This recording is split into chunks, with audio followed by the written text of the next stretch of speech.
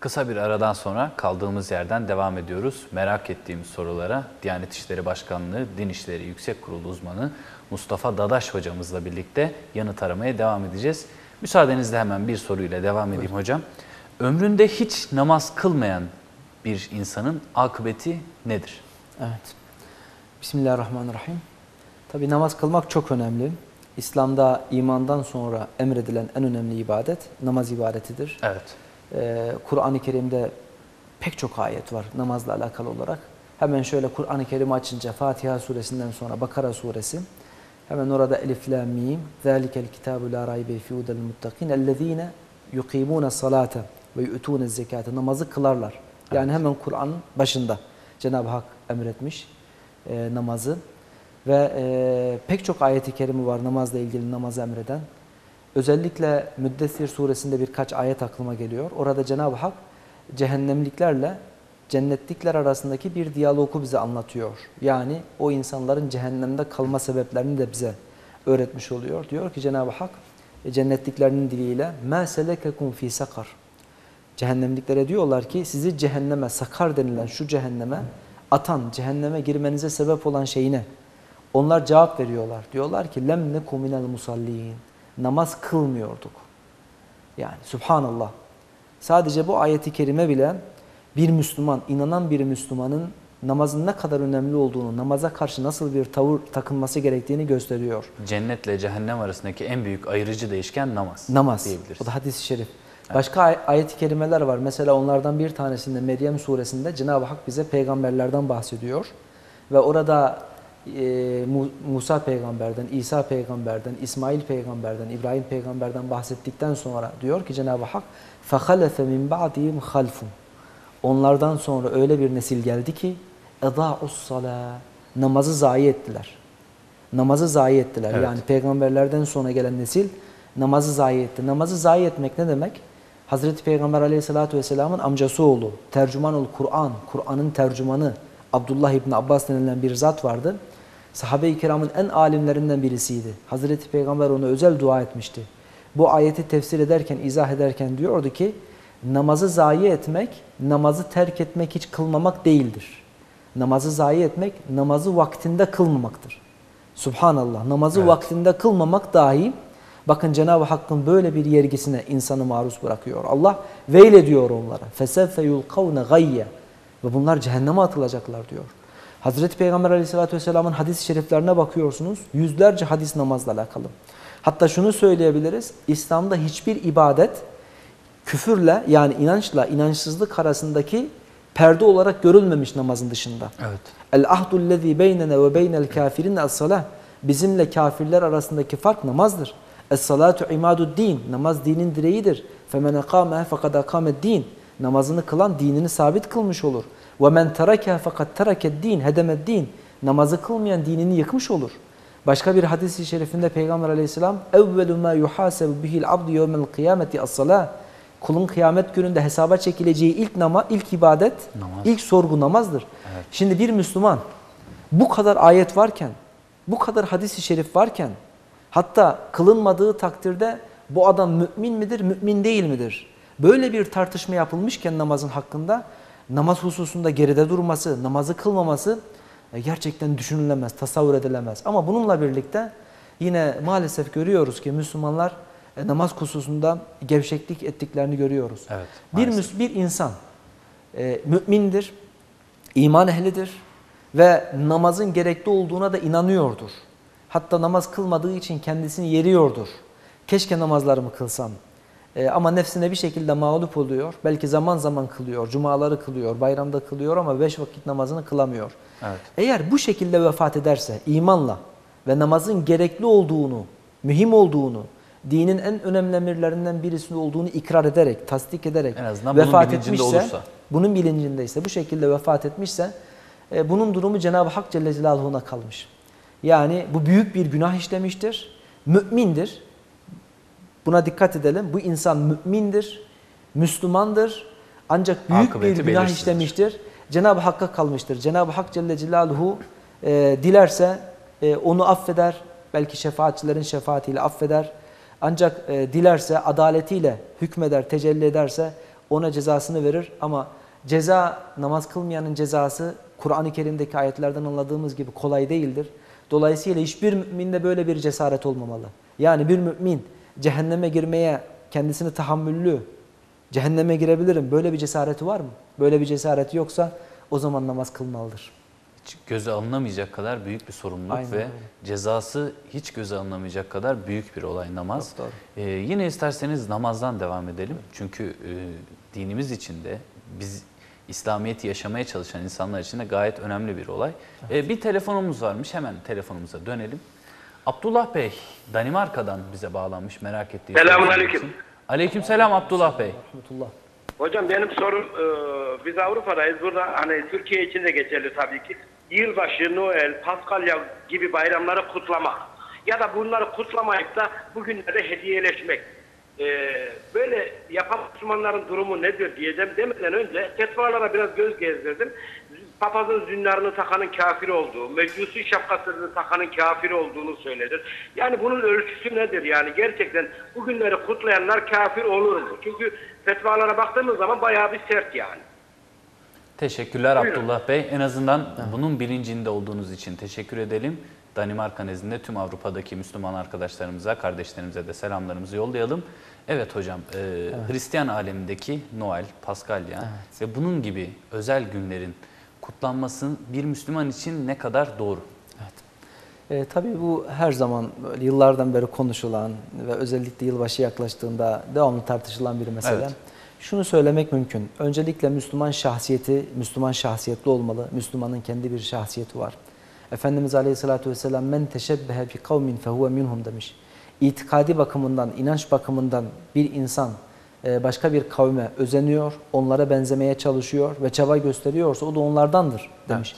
Ve Hazreti Peygamber Aleyhisselatü Vesselam'ın şöyle bir hayatına bakalım siyerine. Efendimiz mümkün olduğu kadar kendi geldiği dönemde özellikle Medine'de Yahudiler vardı. Yine Mekke'de müşrikler vardı.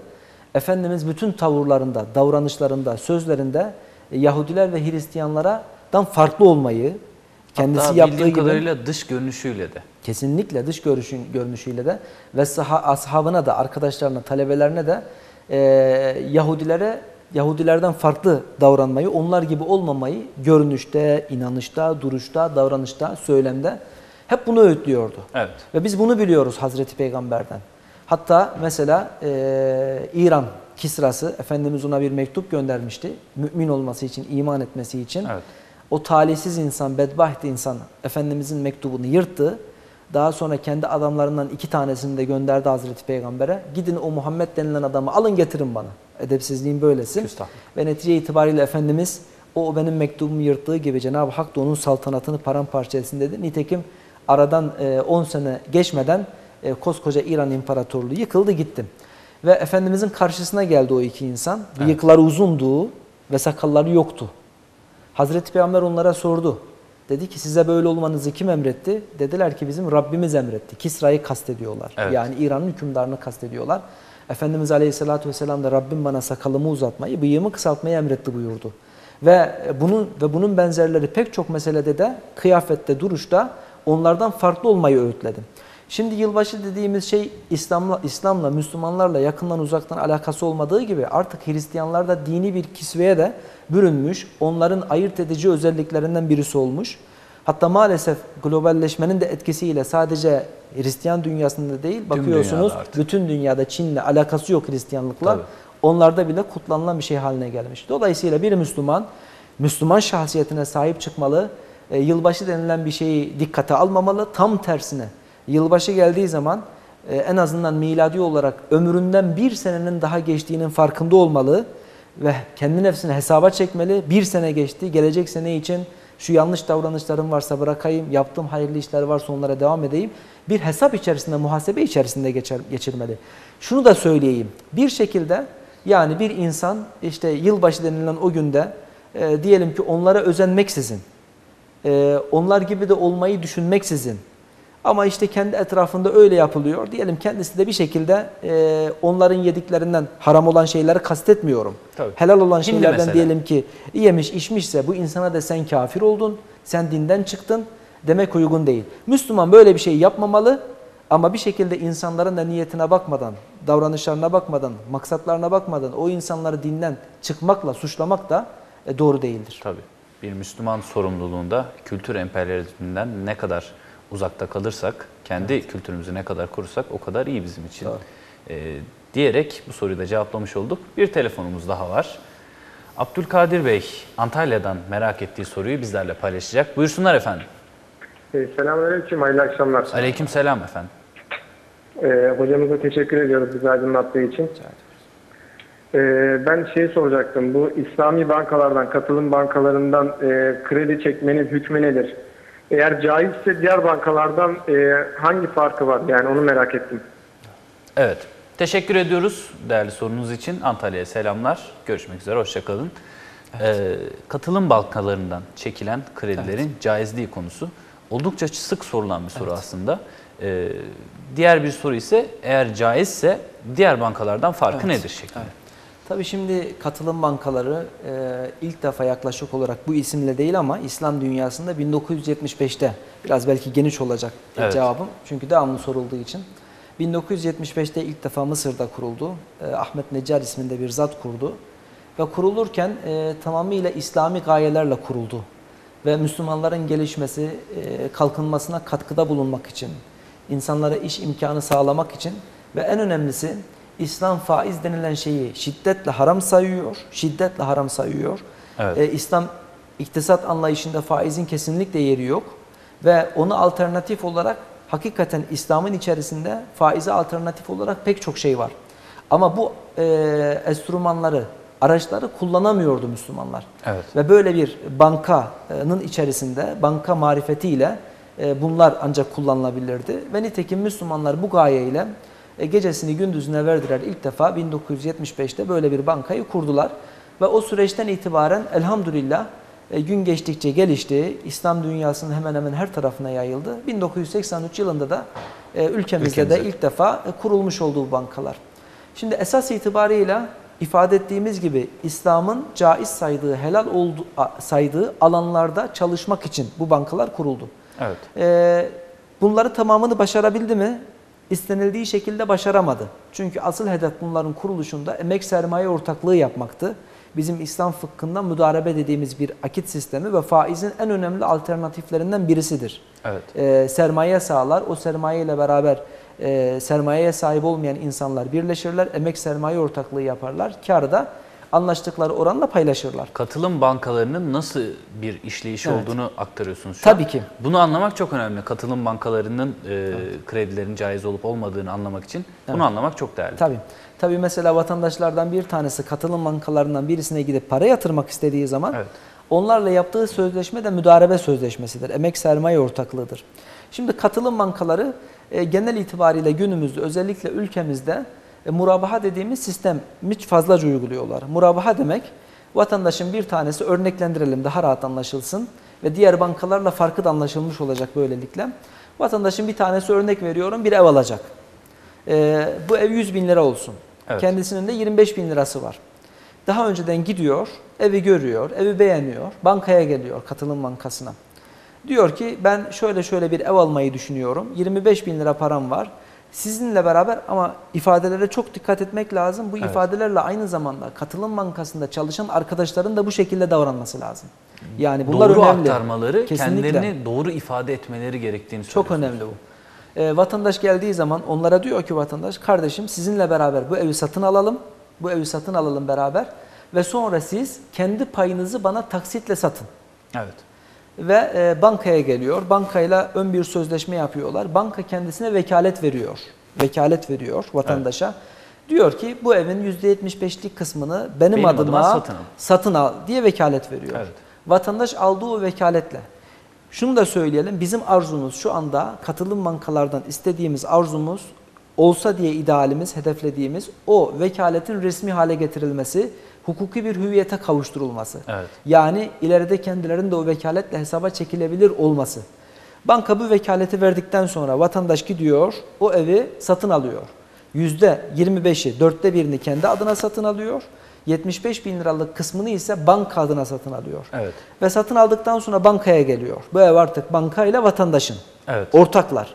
Banka kendi payını, kendi payını e, anlaştığı kar ölçüleriyle vatandaşa satmış oluyor. Evet. Dolayısıyla katılım bankasının yaptığı murabaha işlemi bu bağlamda cereyan ediyor. Evet. Peki diğer banka ne yapıyor? Diğer bankanın böyle bir derdi yok. Ben satın alayım, beraber satın alalım, sonra sa- sana satayım diye bir derdi yok. Doğrudan vatandaş bankaya gidiyor, faizli bankaya. Diyor ki benim 75 bin liraya ihtiyacım var. Şartlar da oluştuktan sonra banka parayı satıyor. Dikkat Evet. edelim aradaki fark.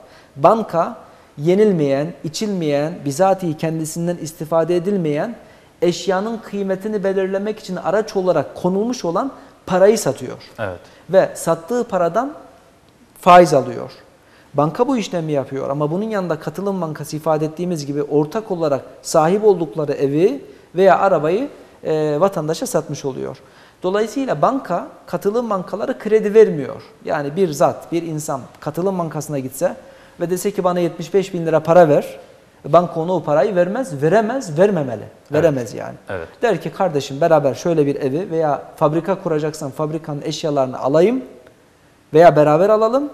Daha sonra ben sana satayım. Bankaların işleyiş şekilleri bundan ibaret. Aradaki fark da bu. Yani katılım bankalarının nasıl işlediğini hem Evet. bizim hem e, bu bankalarda halkla e, birlikte halka derdini anlatan insanların iyi aktarmaları gerekiyor. Çok doğru. E, bu soruyu da açıklığa kavuşturmuş olduk kanaatimce. E, bir diğer soruya geçelim izninizle. İmam olan kişi cemaatte bulunan kadınlar için niyet etmesi gerekir mi? Evet. Şimdi, E, bir bayan evet. cemaat namaza başladıktan sonra gelse onlara uyup namaz kılsa kabul olur mu? Evet. Şimdi imam olan kişi eğer arkasında özellikle bayanlar yoksa yani ben öğle namazını zaten niyet dediğimiz şey kalbin işidir. Evet. Yani dilin işi değildir. Ama dil ile de yapmayı alimlerimiz hadis yok bu konuda.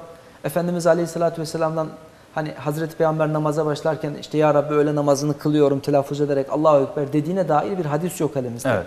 Bunu fakirlerimiz dile getiriyor. Hazreti Peygamber namaz kılarken Allahu Ekber derdi. Kalbin işidir niyet ve namaza başlardı. Evet. Şimdi imam olan insan da eğer arkasında sadece erkekler namaz kılıyorsa yani sadece öğle namazını kılıyorsa öğle namazını kılmaya niyet etse yeterli. Yani arkamdaki cemaate namaz kıldırıyorum şeklinde kalbiyle niyet etmesine gerek yok. Ancak arkasında bayanlar namaz kılıyorsa, kılacaksa bu durumda bana uyan cemaate namaz kıldırmaya şeklinde de niyet etmeli. Evet. Şimdi günümüzde pratikte e, biliyoruz camilerimizde bayanlara özel yerler var. Bayanlara özel yerler ayrılmış Evet. ve bayanlar saf düzeninde olması gereken yerde kılıyorlar. İmamın ve erkek cemaatin arkasında kılıyorlar. Ve imamlarımız genellikle yani hemen hemen tamamı böyledir. İstisnası olduğunu düşünmüyorum. E, namaza niyet ederken cemaate Allah'ım öğle namazının farzını kılmaya ve bana uyan cemaate namaz kıldırmaya şekilde kalpleriyle niyet ediyorlar. Evet. Bu şekilde niyet ettikten sonra bir hanımefendinin ister birinci rekatta ister sonrasında e, cemaatle kılınan namazda imama uymasında hiçbir sakınca yok. Bu şekilde namaz kıldığı zaman namazı geçerlidir. Allah razı olsun. Bu konuyu da böylelikle aydınlatmış olduk. Bir telefon bağlantımız var. Sena Hanım Ankara'dan merak ettiği soruyu bizlere aktaracak. Buyursunlar efendim. İyi akşamlar hocam. Ben hocama bir soru soracaktım. Buyurun. Ee, kan, ben Hanefi mezhebindenim. Kanın bizim e, mezhebimize göre abdesti bozması durumu nedir? Bir bozuklara kadar diyenler var, dağılması diyenler var, nokta kadar bozuyor diyenler var. İlmihal, farklı ilmihaller söylüyor. Hocam bir aydınlatırsa çok sevinirim. Teşekkürler Sena Hanım. Sorunuzu hocamıza aktardık. Evet. Ee, abdestin bozulma şartları Evet. Hanefi mezhebine Evet. göre. Hanefi mezhebinde şöyle bir kural vardır. İnsan vücudundan çıkan gerek e, normal e, abdest, küçük abdest, büyük abdest yerler olsun ister vücudun diğer taraflarından çıkan herhangi bir yerinden çıkan bir şey abdesti bozar. Dolayısıyla kan da abdesti bozar.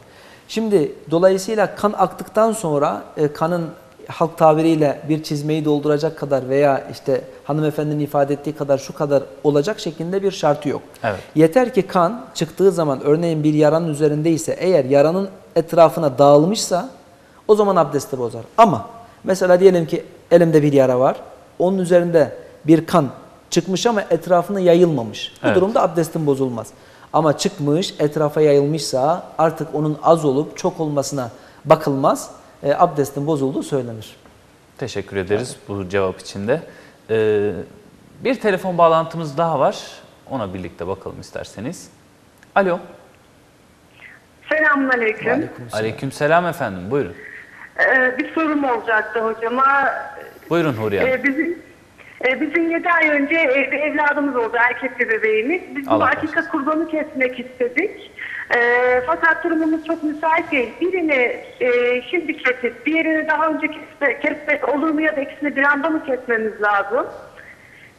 Birinci sorum bu. Ee, Evet. Bir de bir tane daha soru sormak istiyorum. Ee, eşim bazen bana e, uygunsuz sözler söylüyor. Yani e, çok küfür babında değil ama e, hani böyle insanları kendi aralarında ister istemez ağzından çıkan uygunsuz sözler. E, ben diyorum ki bunları söylediğim için ben sana hakkımı helal etmiyorum diyorum. Bana söylemesi engellemek için. Çünkü onun dilinde bir alışkanlık haline gelmiş. Ee, ben hakkımı helal etmiyorum diyorum. Bu ne kadar uygun ya da e, söylememesi için dinen ona söyleyebileceğim bir şey var mı? Uyarabileceğim. Teşekkür ederiz Huriye Hanım. Ankara'ya Ben selamlar. teşekkür ederim. Allah razı olsun. Hayırlı yayınlar. Teşekkür ederiz. Ee, hangi sorudan Akika başlamak istersiniz? kurbanından başlayabiliriz. Evet. Akika kurbanı Efendimiz Aleyhisselatü Vesselam'ın sünnetidir. Hazreti Peygamber torunları Hasan Hüseyin olduğu zaman onlar için akika kurbanı kestirmiştir ama farz değildir, vacip Evet. değildir, sünnettir. Hazreti Peygamber yapmış ve tavsiye etmiştir. Ee, ne zaman kesilir? Akika kurbanı çocuğun 7. günü kesilebilir. Ergenlik çağına kadar kesilebilir. Mesela diyelim ki ergenlik çağını geçmemişse hatta ergenlik çağından sonra bile kesilir diyen alimlerimiz var. Evet. Yani bir vatandaş, bir Müslüman örnek veriyorum ergenlik çağına kadar da kesememiş, 7 yaşından önce de kesememiş ama sonra imkanı olmuş ve evladı için akika kurbanı kesiyorum derse mani olunmaz ona yani. Niye kesiyorsun Evet. denilmez. Hatta şunu ifade edeyim. Babası kendisi için kesmemişse bile insanın kendisi için bile akika kurbanını kesebileceğini söyleyen alimler var. Neticede hayırlı bir iş. Evet. Yani mani olunmaz. E, Bir insan daha önceki iki çocuğu için birden akika kurbanı kesebilir. Yani imkanı olduğu zaman keser. Akika kurba- kurbanını kestikten sonra kendisi tıpkı kurban bayramında kestiği e, kurban eti gibi kendisi de yiyebilir. E, nezir Haydi gibi değildir, adak gibi değildir. Başkalarına da ikram edebilir. Evet. Akrabalarına da ikram edebilir. Zenginlere de verebilir. Bu şekilde davranabilir. Ee, ikinci sorusu eşinin uygunsuz sözler söylemesi. Aslında ikiye bölelim isterseniz soruyu. Bu ne kadar doğru? Dini kıstaslar içerisinde e, bir erkeğin veya bir bayanın eşine uygunsuz söz uygunsuz sözler söylemesi. İkinci boyutu da bunu önlemek için e, eşine hakkımı helal etmiyorum denmesi ne kadar uygundur? Evet. Tabii şimdi e, zaten bir erkeğin, e, bilinçli bir insanın, insanın diyorum önce, şemsiyeyi böyle daha geniş tutalım, daireyi Tabii geniş tutalım. tabii ki. E, İslam'ı bir tarafa bırakacak olursak, bir insanın zaten kendi eşine uygunsuz söz söylemesinin doğru kabul etmek mümkün değil. Tabii ki. Yani Müslüman ise eğer bu, Müslümansa daha dikkatli olmalı. Hazreti Peygamber aleyhissalatü vesselam'ı biliyoruz, örneğimiz. Eşlerine karşı ne kadar latif olduğunu, kibar olduğunu Hazreti Peygamber'in biliyoruz. Ee, en azından insan kibarlığı beceremiyorsa bile e, eşini kıracak, incitecek sözler elbette söylememeli. Bunlara dikkat etmemeli. Bu bir haktır. Evet. Yani böyle söyleyerek kalbini kırıyor eşinin, hakkına tecavüz ediyor. E, bu bayan da hakkını helal etmese e, yarın bir gün ahirette kendisinden sorulacak. Peki nasıl vazgeçecek bu işten?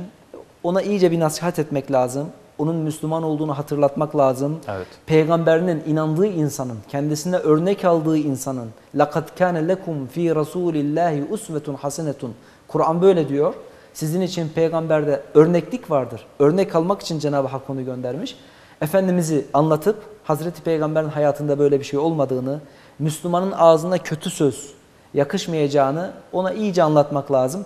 Ve Cenab-ı Hakk'a da du- dua etmek lazım ona hidayet etmesi için. Rabbim inşallah o kardeşimizi de böyle şeylere müptela olan bütün Müslümanları da kalplerini de dillerini de düzelsin, ıslah etsin diyelim. Amin, amin diyerek bu soruyu da böylelikle cevaplandırmış olduk.